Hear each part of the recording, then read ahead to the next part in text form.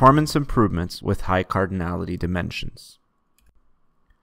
Let's start by defining what is cardinality. Cardinality of a set is a measure of the number of elements of that set.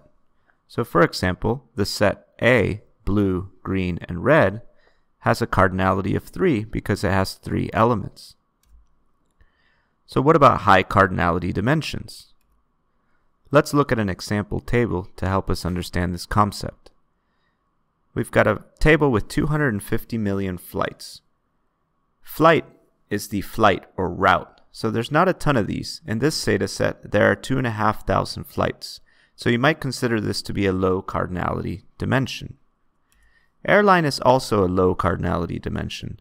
There are only 35 of these in our data set. The plane tail number is a unique identifier for the plane itself. Airlines reuse these over different routes and are usually retired after 15 years depending on how many flights the plane has done. This is a high cardinality dimension, in our case containing 100,000 members. Finally, the minutes delayed is just a measure, and its cardinality isn't as important because we won't be grouping by a measure. So now we're going to ask a question of this data. What are our 15 most delayed planes compared to the average? So let's go through the process of answering that question in Jaspersoft's ad hoc. We start by creating an ad hoc view. We drag in a dimension, plane tail number, and our measure, minutes delayed. We only want to show the top 15 planes and the average of all the others, so we use our top values filter. Underneath, in our underlying database, the Jaspersoft data engine creates some native queries.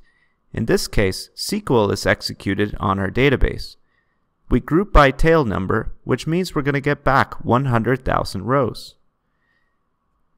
This is where the performance has improved greatly in Jaspersoft 6.3. We now take the resulting groups and are able to crunch them much faster than before to display summaries of that data. The result is a faster, more responsive dashboard for everyone to use this data quickly.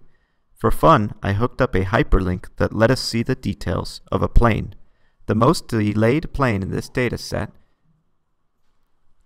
is this 747 that you see here.